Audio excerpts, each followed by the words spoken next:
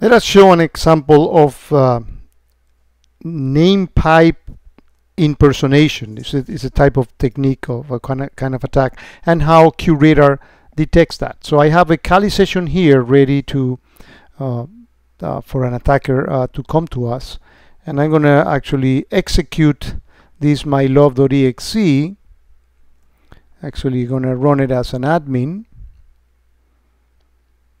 and I execute that program and I get a session with Meterpreter and by just issuing the Meterpreter session get system what you get is that the system the Meterpreter is telling us hey you know I got a session you know uh, and uh, as an as a system uh, and I did it using my first technique. And get system has several it will try several things so even got it uh, got a, a hit on, on, the first uh, type. And we had a, a QRadar system here clean. If we refresh in here we will soon see an offense uh, uh, being uh, being triggered. And here it is. It's actually as I like to look uh, like to do with any rule that fires. Let me see the rules that contributed to the offense. And we have seen this one before. Command shell started with system privileges. Okay, detected that. And then a pipe has been created following my updating services. So let's take a look at this. This is one of the rules that Mutaz uh, um, also added to the Sysmon uh, pack.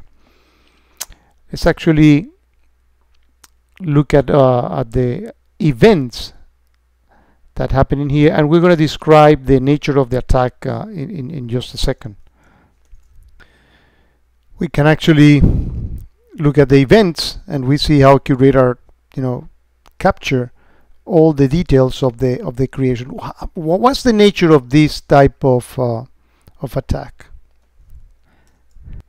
So if we Google impersonating a name pipe, we actually get from Microsoft Development a several pages that describe the nature of this feature between double quotes. And this really basically is when a element that has a lower priority creates a pipe to one that has higher priority, then it impersonate inherits the, the, the, priority of the other element, and therefore doing a, some sort of a privilege escalation again this is uh, these are features that you know uh, they, they carry a, a, big responsibility from the security standpoint and they are out there and the hackers know know about it and that's what you need to have your uh, QRadar system uh, with the with Sysmon to get that level of visibility inside the machine, regardless of any encryption of, and without having to deploy any agent. That's really the, the, the, the value proposition of Sysmon. And given the, you can argue that the Sys internal tools are actually used uh, probably more by the hackers than by the by the by the uh, good uh, law-abiding uh, citizens. Uh, you need to have the tools out there, the, the, the cat is out of the bag, as I say, and, and you need to enable the detection of all these uh, type of attacks.